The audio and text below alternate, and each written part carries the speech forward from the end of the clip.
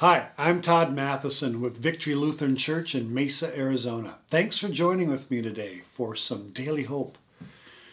As of late, my daily God time has been reading through the Gospel of Mark. I've been struck by how Mark makes some interesting notations about kind of the human side of Jesus. For example, did you know that not once but twice, Mark mentions how Jesus sighed while he served. sighed. the first is found in Mark chapter 7, beginning at verse 31. The Bible says, Then Jesus left the vicinity of Tyre and went through Sidon down to the Sea of Galilee and into the region of the Decapolis. There some people brought to him a man who was deaf and could hardly talk and they begged Jesus to place his hand on him. After he took him aside, away from the crowd, Jesus put his fingers into the man's ears. Then he spit and touched the man's tongue. He looked up to heaven and with a deep sigh said to him, Ephphatha, which means be opened. At this, the man's ears were opened, his tongue was loosened, and he began to speak plainly with a deep sigh. Jesus looked up toward his Father in heaven, sighed deeply, and healed the man's speech and hearing. Wow.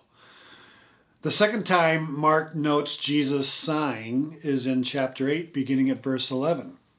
He writes The Pharisees came and began to question Jesus. To test him, they asked him for a sign from heaven.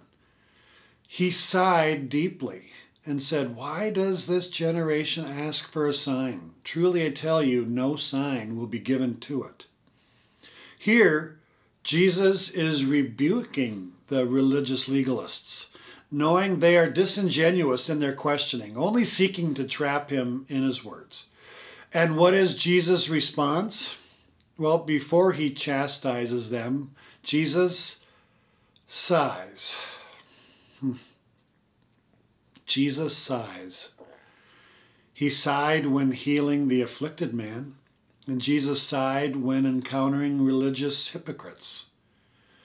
Dear friend, that's our Savior. That is how Jesus engages with us today, meeting us, serving us, whether with a healing touch or a word of instruction. And always, I would say, with a sigh, revealing a heart that breaks for our own brokenness. When Jesus brings his healing and saving power into your life, he does so with a heart that is tender for you and with a heart that is sometimes broken for you, caring for you. Jesus loves you.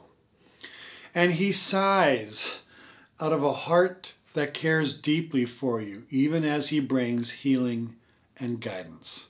And so today, my dear friend, take heart as you walk with Jesus this day. Listen for His gentle but heartfelt sigh, knowing Jesus cares for you. Let's pray. Father in heaven, you love us deeply and you sent your Son as our Savior. Lord Jesus, you came willingly leaving the Father's side that you might enter into your creation, which is fallen and twisted by sin. And with a heart full of love and compassion, you heal us, you guide us, you exhort us, you encourage us, you love us, you serve us. And may each of us here, listening or watching this this day, hear your sigh of love as you reach out and engage with us this day, the things that we're facing, the, the ups and the downs, the challenges, the opportunities. Lead us, guide us, heal us, and thank you for saving us out of your great love. I thank you for this in your precious name. Amen. Hey, thanks for joining with me today. Be sure to like, share, and subscribe, and go in peace and serve the Lord. Thanks be to God.